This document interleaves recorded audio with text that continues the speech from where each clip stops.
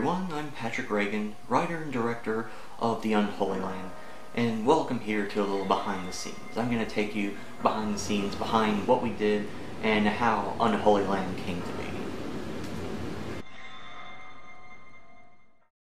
be. So, really, it all first started basically in 2015. At that point, I was in that phase where I was missing high school and just not liking college that much, and I was visiting some friends at bands. Like I was visiting them, like for all time's sake, and I figured I was gonna go like basically the year before that, 2014. I went on like a full script writing renaissance, where it's like I was finished with my classes. I was finished with the very last math class I would ever have to take, and you know I just felt like you know I didn't do enough writing because I was busy with my schoolwork. But and I figured I would never write again. I figured I was done. But then I just started. I started writing scripts and went like a full renaissance of different short films and feature films and different ideas that I started writing during that summer. And then, of course, I went back to doing stop motion because I didn't do a lot of stop motion since my senior project. But then, you know, I went and did 25 Cents of Stupidity and worked on stop motion for other films. And 2014 was a really productive year. 2015 was not that great until the fall, but during the summer and whenever I was out of school, I was going on like a full renaissance of coming up with different ideas for horror films. One of them, of course, was The Unholy Land. I was not planning on it to be like a big masterpiece like other ideas I had, but my general plan was to make something that would be a little bit cliche, make something, you know, a little easy to make. And so I decided, you know, I took inspiration from two of my most favorite horror films, The Evil Dead and The Thing, which you can see a lot of that in there. You know, generally it's like Evil Dead because of the way it's shot and the fact that it deals with zombies. And it's like The Thing because of the fact that they're investigating a place and finding all these dead bodies. And I was kind of stuck between, I didn't know whether I wanted to do zombies that came out of the grave, like in Children Shouldn't Play with Dead Things, or if I wanted to do something like Night of the Living Dead and Evil Dead, where it's people turning into zombies. So I decided I'd do both, and you see a lot of that in there. And so I wrote that. I wrote in some ideas. Like the idea for the Hellhound came from like a little chapter in a book that I read called Ghost of the World, which I used to read from the high school library, but eventually got my own copy of.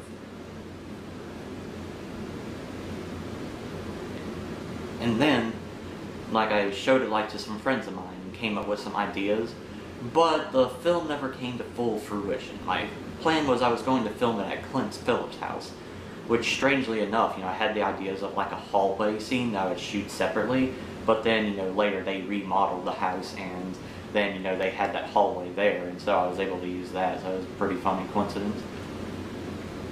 However, you know, then, you know, after that in the fall, I started film schools, and, but I was still working on the project, and then while in film school, I decided I wanted to do a feature film, excuse me, so I decided to work on the film The Summer of Life. I was proud of it for what it was. After looking back on it, I was kind of embarrassed by it because, you know, I wanted to make a good feature. I was glad that I made a feature, but with The Summer of Life, I felt it was just way too amateurish and not even in a charming way. Although I did start to see some charm. But so, like, eventually in spring break of 2017, I was hanging out with my friends and we were going to try to work on the Mindworms movie, but it was just getting too hot and we didn't have a lot of people. So I decided we'd get an early start at uh, at the Unholy Land. The very first shot that I filmed was the scenes with Kurt in the hallway, just wandering around, listening to the sounds. Um, well, I like reading. I like playing video games. Hey, Matt. uh, I, like, I like to shank a bitch. that sounds like a Russian name. That should be a Russian name. Yeah, Victor Shankovich. yep. Um, well, I heard that my friend Patrick, who I forget when I met him too, yeah, same as Robert, we both forgot. Uh, I forget many things. Same. Zavenya, and uh, so yeah, I was like, uh, yeah, I'll act in your movie. And then I found out I was the main character. And I found out I might or might not die. I was like, hey guys, yes. Uh, get some. Actually, I think that one scene was actually filmed a little before spring break. But during spring break, I decided I would invite some friends, so I invited you know, of course, we had Clint Phillips, uh, Robert Crowfoot, and David Crowfoot. All my dad's our friend. I was in like five scenes. To the push. Now, originally there was going to be a guy named Roger. He was going to be played by Gage Foster, but Gage was sick at the time. But you know, Paige Mishler's sister, Brittany Paige helped me with. Uh, he got served in some other films. Like she was there, so he decided we replace his character with a female character, and I named her Renee after a friend of mine in film class, and because it started with an R, and so it you know helped me keep track since the character's name was originally going to be Roger. Okay, well, when I first, how I first met you was because of uh, Paige and Nick. They're talking about how y'all were doing films, and you know, I just thought that I should be in one, and it would be fun. Hey, dicks up. Simple, some Gage, simple you were stuff. about to drop it, didn't you? Any other Dicks questions? up. I think that's it. And of course, originally we had uh, Jack Stone or Matt Brantley or Victor Brantley playing the detective, but eventually he got replaced with Robert Crowfoot just because you know he was very limited with how many times he could come, and sometimes you know he couldn't shoot certain things. So he decided to just let his character go to Robert Crowfoot. I forgot how I first met you, and my involvement was because one actor couldn't show up. I, I think I met you when they were filming one day, and I was just there.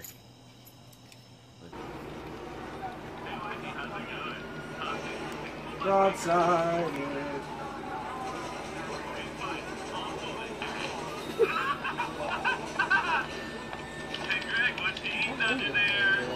Alright,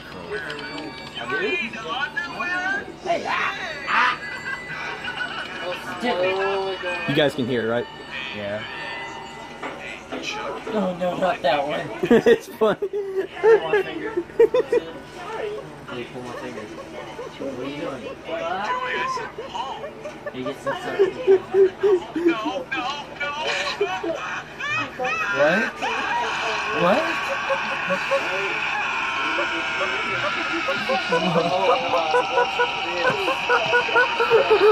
Oh Oh god! Copy machine.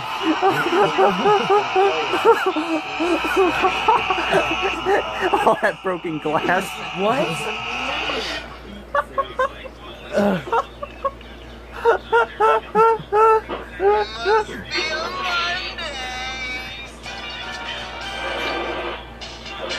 What? For the other female character, I contacted an old friend of mine from church and high school band named Danielle Cameron, who's now Danielle Henderson since she got married. And you know, I contacted her, her, and she seemed perfectly fine with it, especially since she was in my senior project, and she became like the main female character. Guys. um, so I know Patrick from school and church. He was two grades ahead of me. And we did band together and that was pretty great. And um I was in his senior project without my knowledge at the time it happened, but you know, it's fine. But uh we all call him Larry, and that's how I refer to him as Larry. Larry's a little different. We all love Larry. He's great. And he's like, he just messaged me one day. He's like, hey, you want to be in a movie? I was like, why not? Yeah. And so um, ended up doing this. And it's been a different experience. I've never done anything like this before, but it's been great. I really enjoy it. And I hope things go well with this because I would really like to do something like this again. I'd really like to do something like this again in the near future. So yeah, it was it was fun, you guys. Bye. Cool. So the first shots we filmed at Clint's house involved the scenes such as coming to the house and looking around it and looking at the you know the graveyard and everything like that. And then of course you know during the year I was busy with film school. I was busy with getting my film projects done, so I didn't really revisit it until a little later during the summer. So it's like in the summer, I would. That's when we decided to get Robert Crowfoot to play as Detective Wilson, and then eventually I got Danielle Henderson to finish the last of her shots, and most of it was filler because we were just trying to get to a feature length, and this wasn't meant to be like a masterpiece of any kind, just a practice film for what it was. And you know, in the summer, we eventually you know finished the last of you know several shots. Like we finished, let's say the church scenes, we filmed that at my old church, Hickory Grove Methodist. That's what we did for the interiors, and for the exteriors, I used miniatures to add to the whole German expressionism feel that I wanted to wanted to have.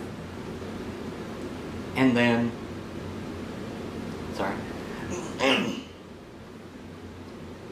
and then, of course, the graveyard scene. What we had was, like originally in the original script, it was going to be a graveyard with human bones making up the gate, but I didn't have the time or money to do that.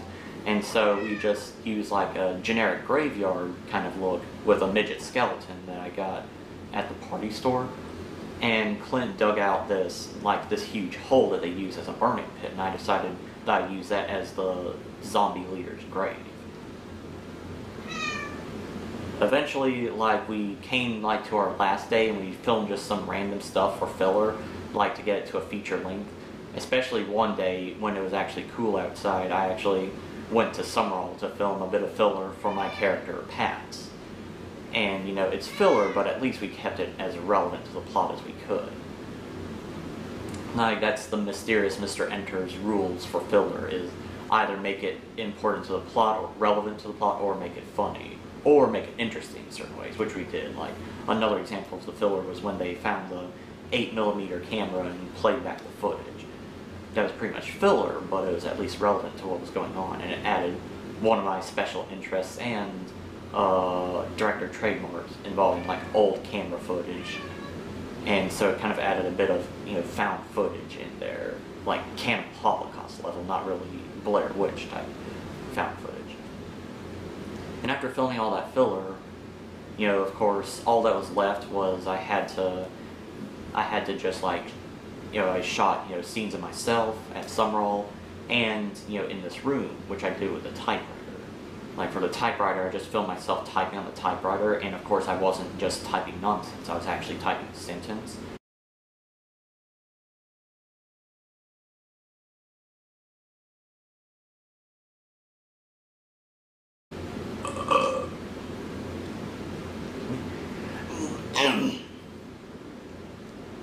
And then, of course, what I had left was various miniatures and stop motion.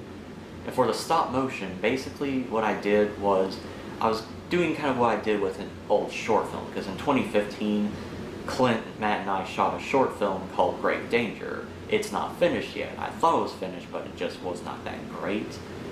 Especially like some of the stop motion effects. I mean, some of them we're keeping, some of them I'm not gonna have in there. And so, you know, I wasn't, I knew these stop motion models weren't going to be as great, so I just used like lighting tricks and everything like that for Kate's headless model and the Hellhound, for example. And for Kate's headless model, I was trying to think of like different humor I could put in there. I was trying to make it where, let's say, like in Evil Dead, you had the Linda, and in House, you had like the large witch creature. And so I wanted to think of my own type of, you know, female zombie creature like that. So I had the idea of where she gets decapitated, she's still talking through her vocal cords. And of course, I did the voice of that. Like I just tried to open my mouth wide and speak, you know, just with my vocal cords as if I was talking. So it's like, you're gonna die, Kurt. Prepare to meet your doom. It'd be like, yeah, yeah, yeah, yeah, yeah, yeah, and just try to you know do it in the best way possible, like keeping my mouth open, only speaking from my vocal cords, from my trachea, not using my tongue or my teeth or anything like that. And that's probably not exactly accurate to how it would sound if it was just raw vocal cords with no head or airway passages or anything like that, but it worked with what we could. It worked perfectly fine. As for, let's say, the special effects, not only did I use stop motion, but I also used a lot of practical effects, some of which were bought from the party store, and some, you know, I made myself. Most of them were made out of styrofoam heads that I got at Hobby Lobby.